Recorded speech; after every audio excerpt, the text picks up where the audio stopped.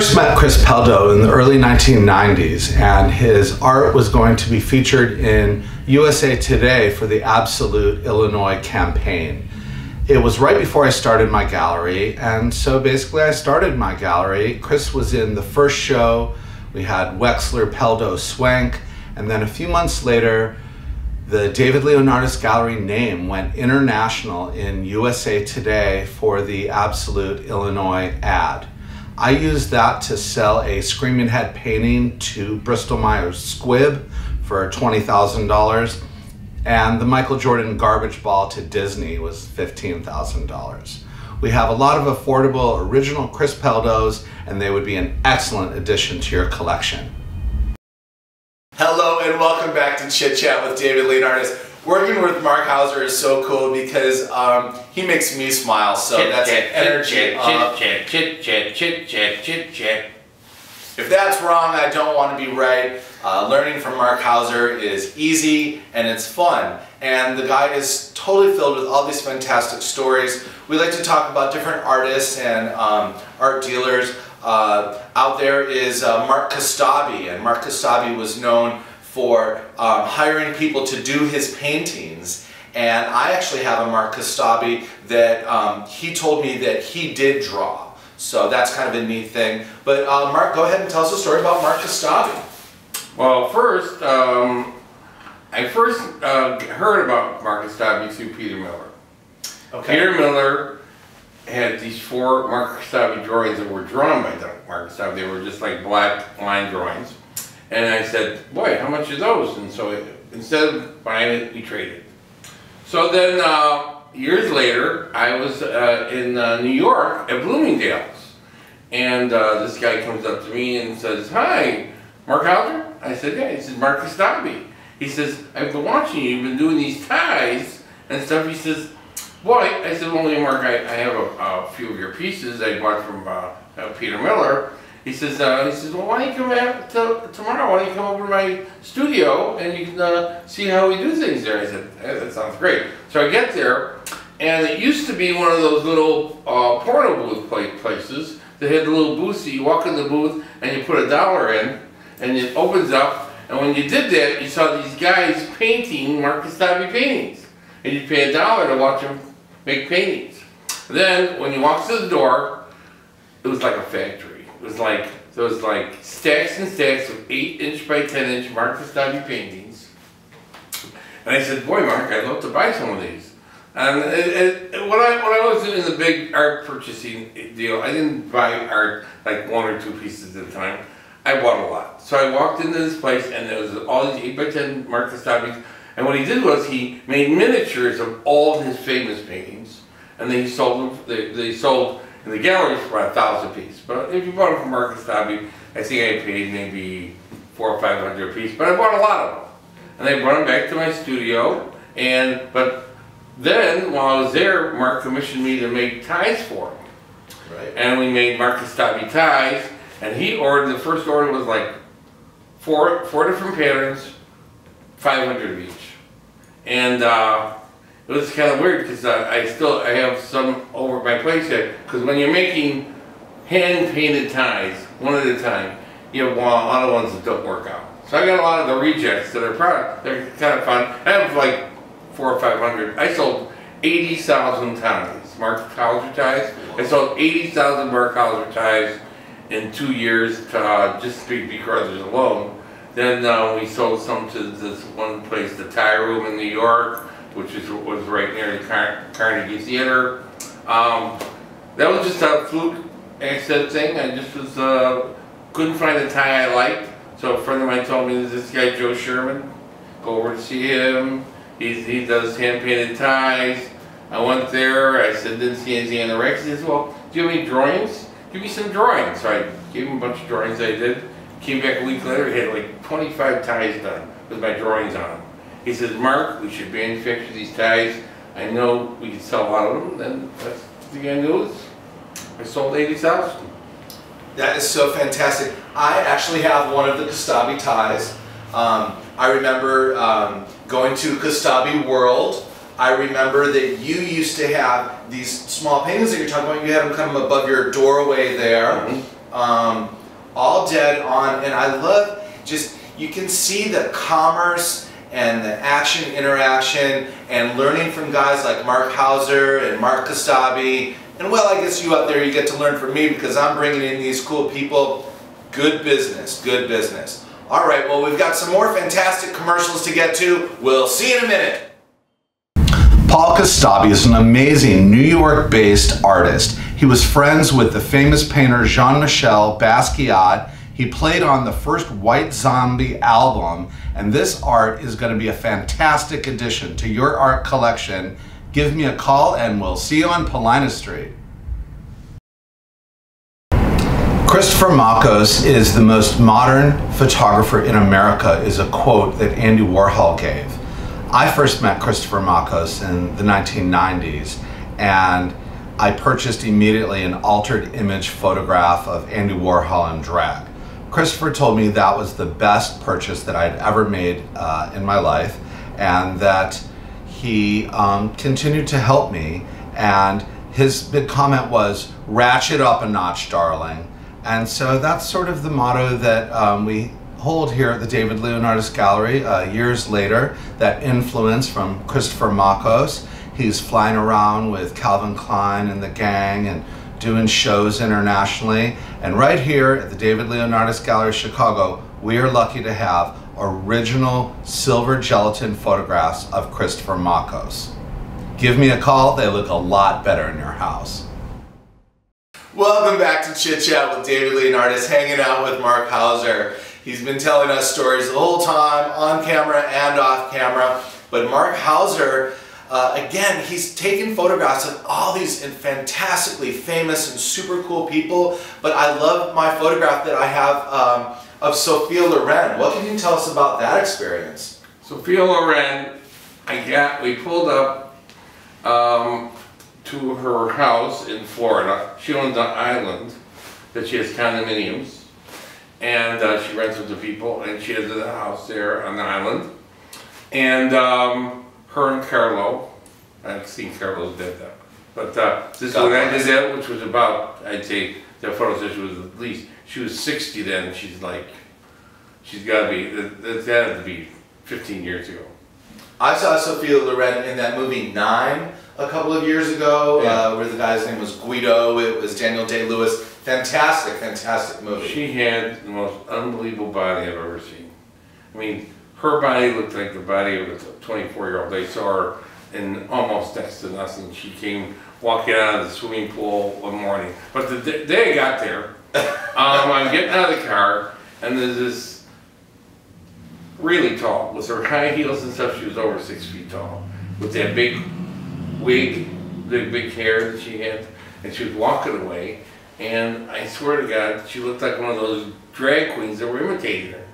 So I didn't, wasn't sure if that was Sophia or, or just like her standing or something. So then she turned around, she said, oh, you're Marc oh, I just love your work, oh, it's so glad you could do this for me. Um, I have a whole bunch of things I need done.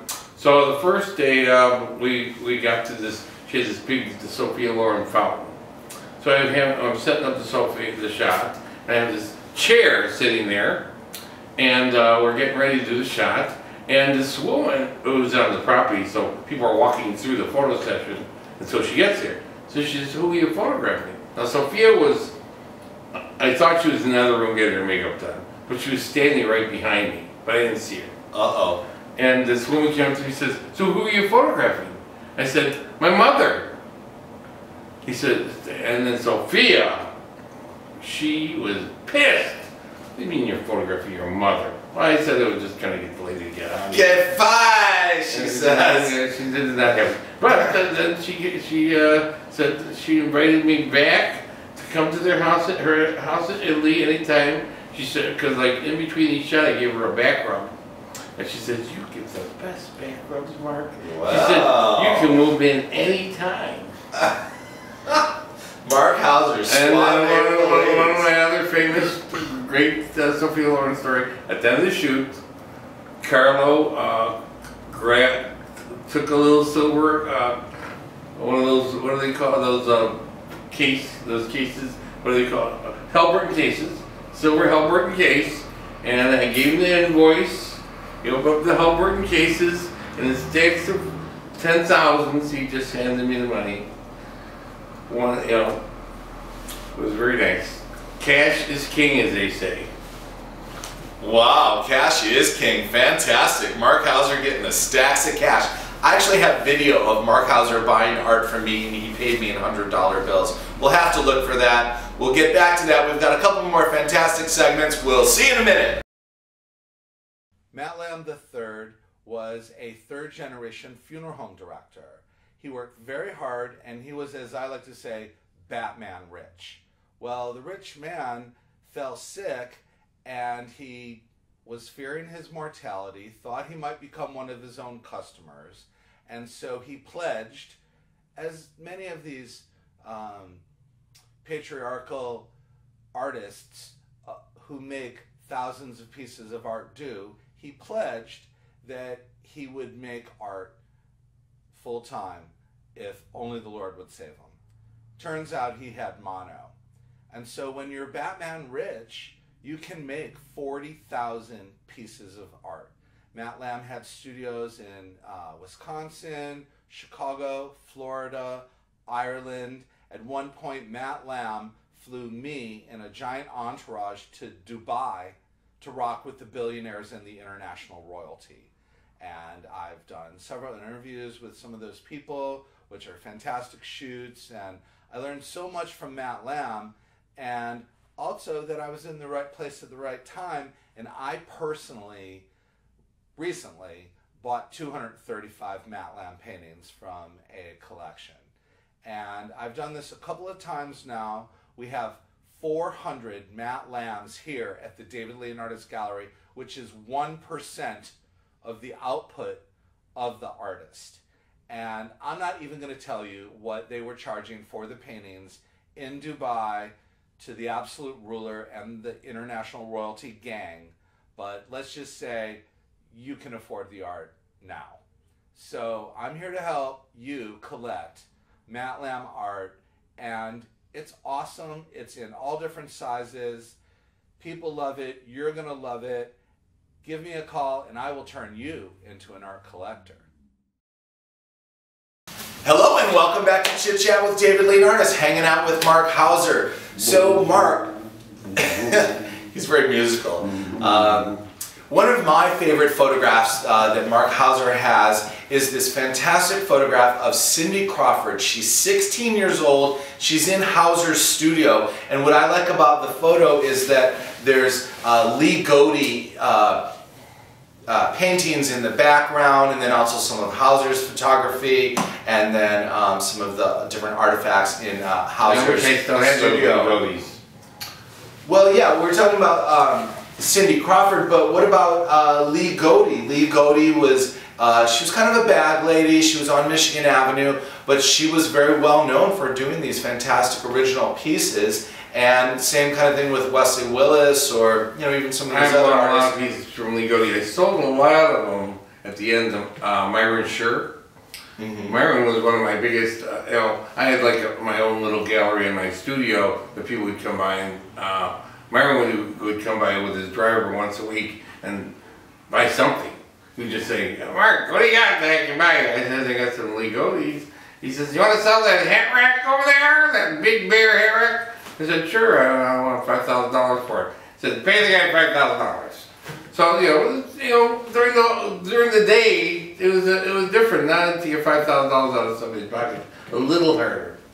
But um, absolutely, uh, Lee I used to see on Michigan Avenue at the Art Institute, and she used to have her little auction going. Um, she used to take like nine pieces and put them on the steps, and then she would lift one at a time and she'd say, what do I, and there would be like nine or ten businessmen around. And she would, what do I get for this beautiful woman with a cigarette up her ass, or whatever it was. And I, and I said, $10. And the, the guy said, $20. And you know, most of my, I think I got most of the stuff I bought for like $100, $125.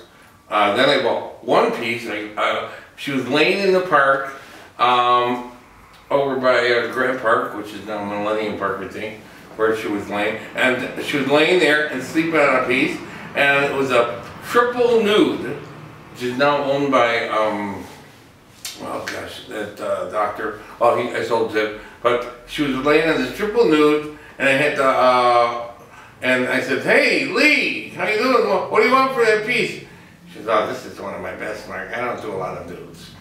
I, I want at least two hundred dollars for it." So "I'll give you 150." No, no, Marc, I want two hundred dollars for it. And and can you go over and get me a couple of uh, McDonald's hamburgers? And I need a bra. Can you go over to Walgreens and get me a bra? Said, well, how big a bra do you wear? She says, well, I said, no, it looks like. Don't tell me she flashed you. No, no, Okay. no. But that, she, she flashed a lot of people. Really? But the problem is, some of the pieces I got, she would, you know, she had a bad, uh, uh, she had a bad problem. You know, she would get kicked out of a lot of hotels because she was not uh, potty trained. You know, so so uh, like a lot of pieces, I would have to take um, Listerine and clean them. But you know, she had this whole technique that she would put a wax surface. A lot of them had a, what made it illegal, and how you could tell if it's real or not is she would take wax and melt it and put it uh, on the piece on top to, for a sealant. So she was great though. She was one of a kind, and uh, I'm telling you, I bought those pieces and I averaged uh, those. I, I think I bought them for about 100, 125. I just sold one a few months ago for five grand, and some of them are, and uh, I know some of them got the new the triple new I bought. I sold it to Norbert Gleicher, the, the doctor, Dr. Norbert Gleicher. I got ten thousand dollars for that piece, and that was uh, that was a good deal. I wish I still had that piece. I wish I still had a lot of the pieces. That piece I wish I really had. Was very, how often did she do nudes? Maybe two or three. This was a, a triple one. Three women in a row. You used to have that on the second floor of your building on Cortland, Yeah. uh, in the, your bedroom, and big room, and there were Godies everywhere. And I remember the nudes, the big triple nude there. And there was a hallway going into my studio, those were all covered with Legos. People would walk in all the time. My makeup artist, she had like five or six of them that I sold them to her for like a thousand a piece. Now those are worth like five grand a piece. Wow. Well, I used to have 200 Howard Finsters. I used to um, work as a waiter. I would eat on the job and spend all of my money on Howard Finsters. All of a sudden, I was an art dealer. 20 years later, the rest is history. We've got a lot more history. We've got just one or two more segments with Marc Hauser eating I'll on. have a double cheese pizza with sausage, mayo, and mustard to go, David. Speaking of mustard, Marc Hauser has some cool mustard, but we'll talk about that in a minute. We'll see you in a minute. The Reverend Howard Finster is the grandfather of contemporary American folk art. He's a visionary artist. He was painting a bicycle as he was a, a retired reverend and also a bicycle repairman. He's painting this bicycle, and the paint forms a face on his hand and tells him to paint sacred art. He tells the face, I can't do that, only professionals can do that. The voice says to him in an ever increasing tone, How do you know? How do you know? How do you know? So he pulls out George Washington from his pocket because he didn't have Ben Franklin, although later on he had plenty of Ben Franklins. And then he said, Maybe I can do this. The man made just shy of 47,000 pieces of art shown throughout the world. He was a dear personal friend and mentor to me.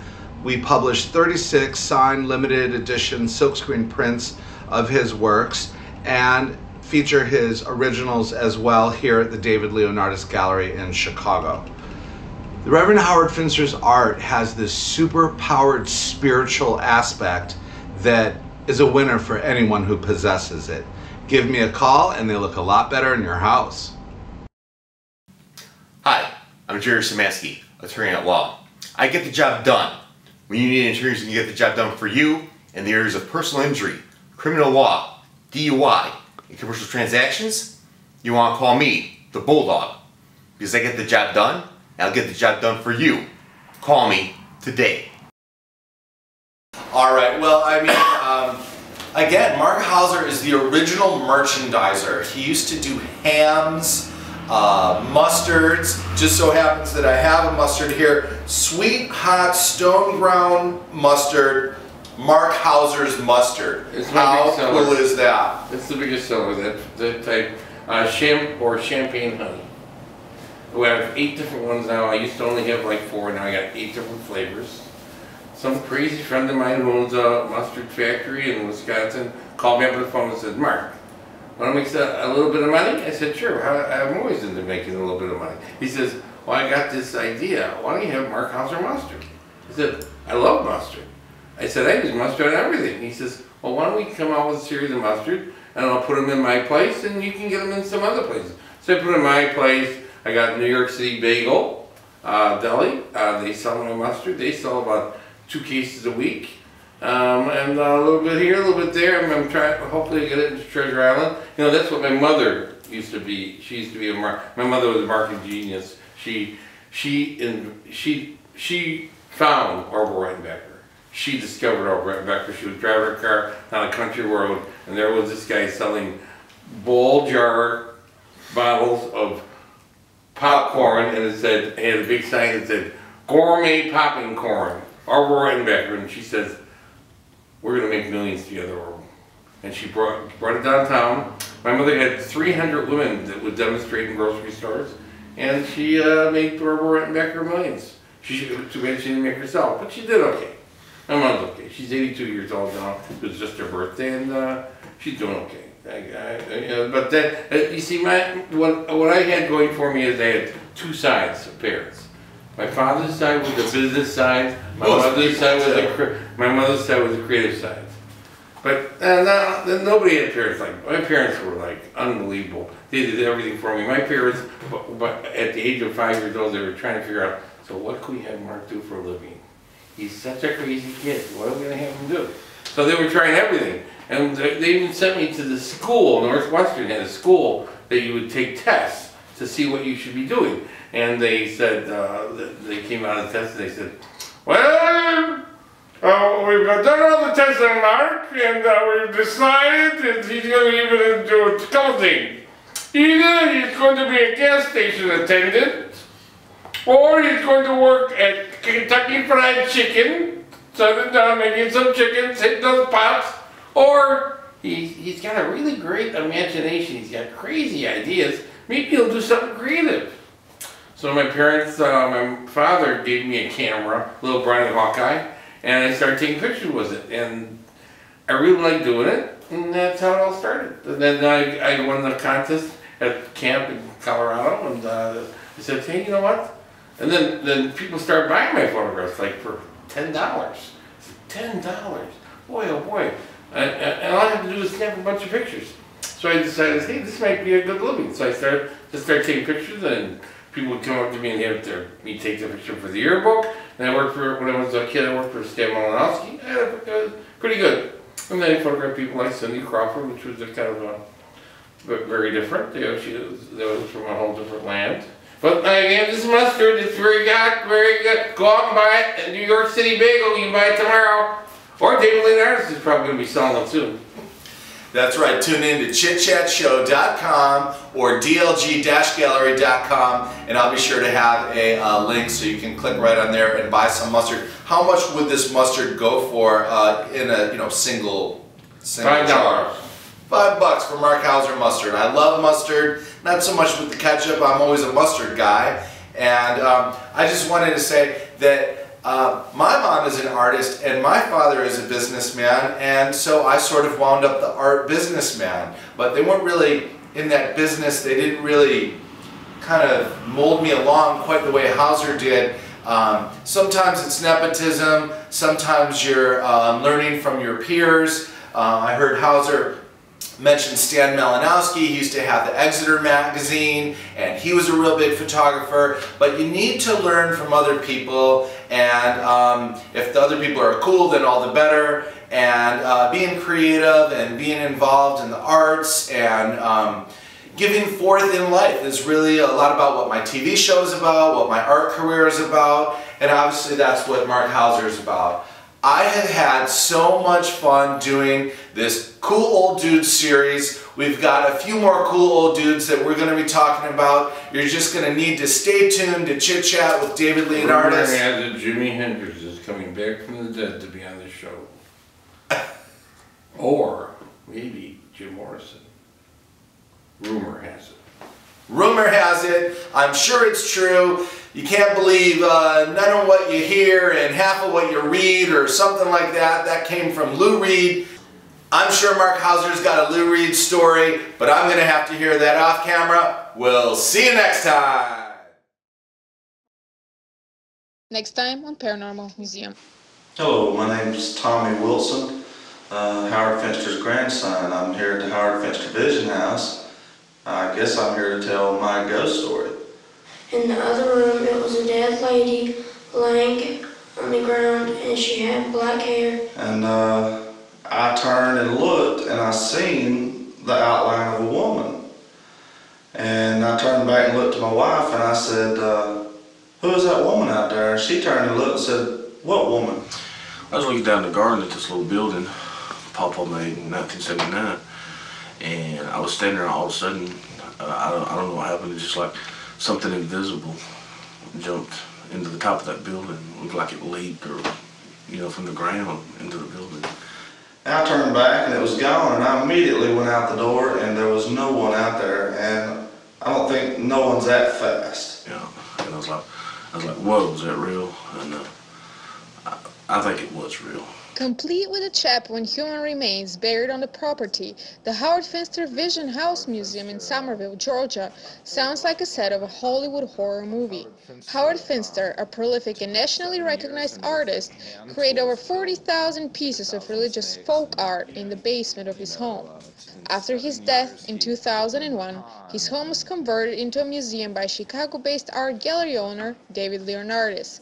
Apparently, David got a little more than expected when he purchased the home, as occurrences of unexplained phenomena intrigue guests and stir operations at the museum on a daily basis. David, along with several independent teams of paranormal investigators, are on a mission to prove or debunk the existence of ghosts at the museum. Is the Howard Finster Vision House Museum haunted? Tune in and watch the investigations, and you be the judge. Is Howard Finster here? Is there any spirits here that would like to talk to us? We're in the Howard Finster house. Is there any spirits or ghosts here? Let me know that. Come on, Mr. Finster, talk to me. Let me know your garden is. What is she doing here? What? I know what I saw. I'm not stupid. I don't even know people that see this might think I am. So. Are you the ghost that is in the Howard Finster Vision House?